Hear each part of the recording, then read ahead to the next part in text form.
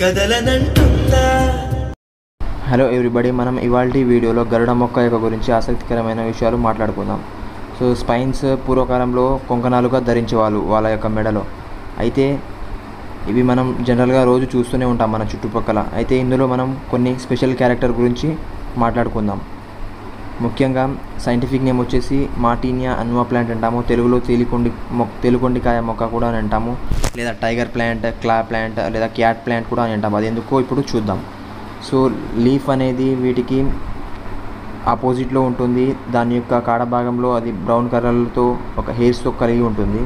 Next flowers వచ్చేసి మనకు pink కలర్లో అండ్ వైటిష్ రూపంలో లేదా హెయిర్స్ రూపంలో ఉంటుంది. అండ్ వీటికి ఫైవ్ పెటల్స్ ఉంటాయి. సో పెటల్స్ చుట్టూ పెటల్స్ కింద హెయిర్స్ కూడా ఉంటాయి. అండ్ ఇది బ్రౌన్ కలర్లో ఉండి పెటల్స్ హెయిర్స్ ఏమో ఫ్లవర్ చుట్టూ ఉంటుంది. వీటి యొక్క పెటల్స్ అండ్ ఫ్లవర్స్ అంటే సింహం యొక్క పంజా రూపంలో ఉంటుంది వా వాటి యొక్క flowers. And petals also arranged in five next purple spot. అంటే మనం ఈచ్ పెటల్స్లో వాటి యొక్క మిడ్ ఆఫ్లో పర్పుల్ స్పాట్ ఉంటుంది. ఇంకా లోపల white colour and orange colour dotted లైన్స్లో ఉంటాయి. సో వీటిని మనం రోజు గమనిస్తున్నాం. గమనించారు కూడా.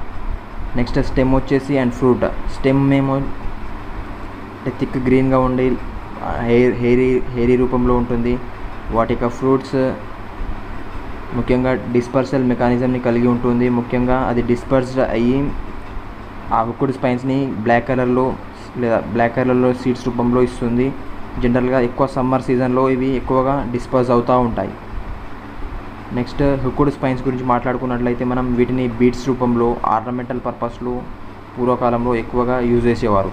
సో వీ ఇవి ఎక్కువగా ఇది వీటిని మనం తేలుకొండికాయ అంటాము. ఎందుకంటే ఇవి వీటి యొక్క స్పైన్స్ మనం తేలు రూపంలో అంటే తేలు కాట్ కాటేసినప్పుడు వాటి రూపంలో ఉంటుంది దాని యొక్క స్పైన్స్